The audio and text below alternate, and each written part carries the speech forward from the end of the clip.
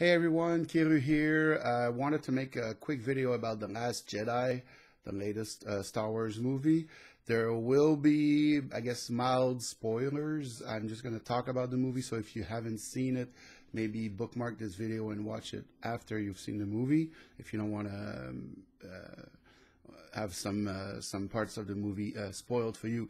Um, what I want to talk about is uh, the fact that a lot of people have are having very negative reactions uh, to uh, Star Wars: The Last Jedi, and why I think that is. There, I mean, obviously there are, you know, any new movie that will come out especially a sort of important mo- movie for fans like Star Wars, will surprise people. Sometimes surprise is a good thing, sometimes it's not. I really like the fact that Rian Johnson took some chances on this one. Um, that's my personal uh, opinion. But I think a lot of people, most people who are seeing the movie, are missing the point.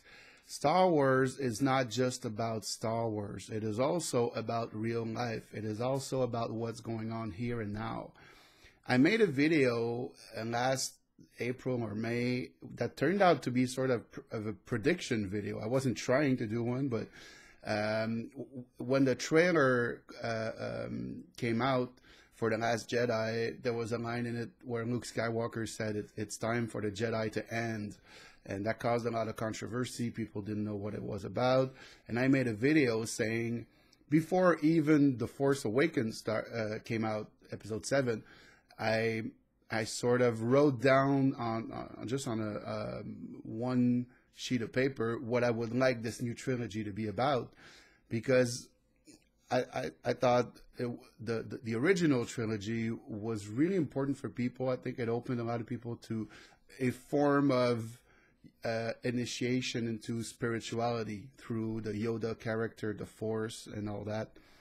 Um, but what I didn't like about the original trilogy was that the the u- using the Force was reserved to the Jedi and the Sith, and it was sort of an elite thing. You had to be the chosen one to use the Force. And I thought this new trilogy should be about episode seven, eight, nine, should be about the, the Jedi, the new generation, finding out that the Force is for everyone and anyone can use it, you know, if they if they take the time and apply themselves. And uh, surprise, surprise, that's what we learn in Episode Eight.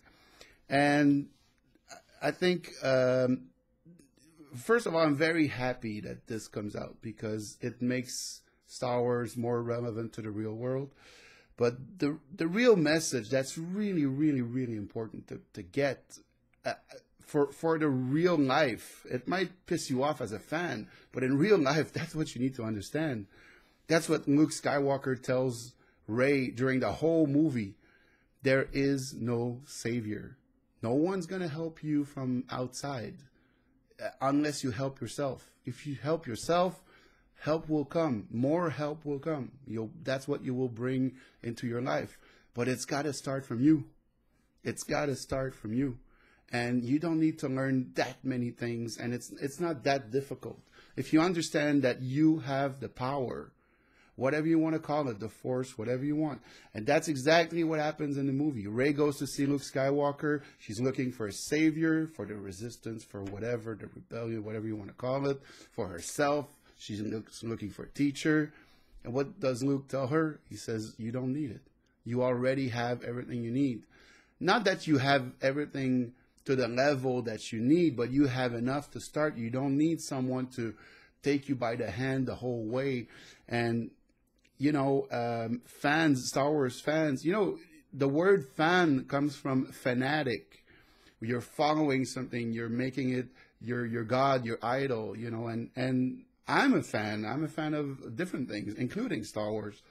Uh, you know, you see posters behind me, different people that I, you know, that I, I look up to, and but I never let that get in the way of my power, what I can accomplish. These people are not special. They just realize they have power and they used it. That's it. Just like you have power and you can use it on this planet, we're in a very um, dire situation, complicated situation. I believe humanity is is going through um, you know, there's a possibility of extinction not that far in the future, or of of, of mass suffering at the very least.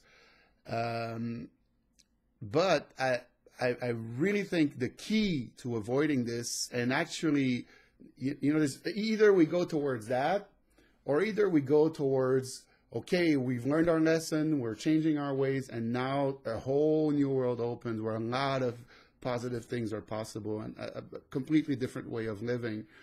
I don't think there's much middle ground. I don't think the status quo is a possibility because if we keep doing what we're doing now, we're just we're gonna die. I'm sorry to say, and you know I'm fine with it either way. If humanity wants to die, fine. But I really, really believe that we can build something really beautiful. But we got to stop giving away our power and looking for saviors everywhere. When you look for a savior, you turn yourself into a victim. And that's no good. And so, how do we do that in real life? Well, we give our power away to governments. We give it to the school, the medical system, you know, every system that's around us, you know, the system, even money even money. Now we value money more than people. We've sort of accepted, we've bought into all these lies, you know, that, that the system is there for us and that it's guiding us. And it's, it's taking, it's, the system is a train wreck. it's taking us nowhere. So this might be, if you're not aware of what I'm talking about, these kinds of concepts, it might sound very cryptic and I might sound like a crazy person to you. Just watch my other videos and you'll see I get a lot crazier. But um, um, I think for people who are a little aware and awake about you know what's going on in the world, I think this last Star Wars movie is a very very powerful message, and it's good news for people like me. I consider myself an activist, and it's almost like, hey, we got Disney on board. You know, one of the big major corporation sort of decided to kind of go along and hey, you know, we're we're going to take chances. We're going to get hate from fans. They knew that, but we're actually going to put out maybe not the message people want to hear, but the message people need to hear if we're going to move forward. And um, so that's it. I had to rant about this. I'm sorry. I just had to. I hope this helps. I hope you view this movie with a different from a different angle and uh, see how positive it is and um, and I'm looking forward to episode nine. Hey, have a good one. See ya. Bye.